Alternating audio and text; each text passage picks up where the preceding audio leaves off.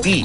Pero sa mga taga-showbiz, wala na sigurong mas bobongga sa definition ng Yes Magazine for its annual list of the most beautiful stars.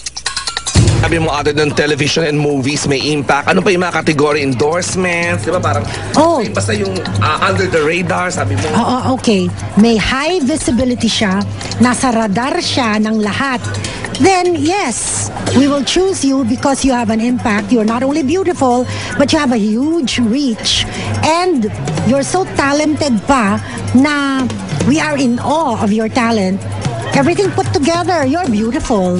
Kinamusta lang Showbiz Central ang mga kapuso stars na pasok sa standard ng Yes.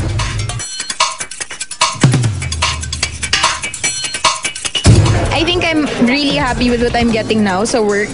Gusto kong umarte. Ayoko muna ng kaartehan. Ganyan.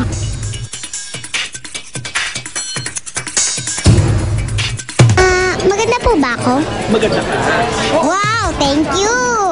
At ako, bibig, ilong, lahat po. Siyempre po, kasi po katawan ko po to, kaya po nagagandahan po ko sa lahat ng mukha comic, syempre! Thank you very much! Ay, Oo, finally! Okay, nabang-abangan ko talaga itong listahan. Kasali na po ako. Please get your copy. So ano ba naging basehan to be part of the list? ang comic, malalim yan eh, sa normal na tao. Mga misfits yan usually. They're misfits, which is why they understand what society is about eh. They're not normal. You're not normal. But, but that's what makes you beautiful. Kung normal ka, you wouldn't have your wit. Di ba? Tama! Maba Prime Time.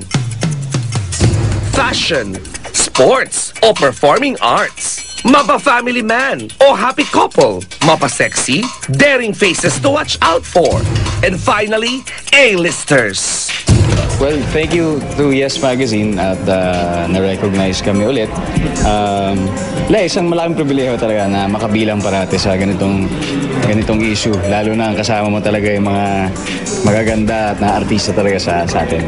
Uh, it chronicles kung ano yung nagawa mo for the past year and siguro maganda na, na napabilang pa rin ako rito. So, thank you, thank you to Uh, this is to honor the stars who are uh, bright in the firmament at this time.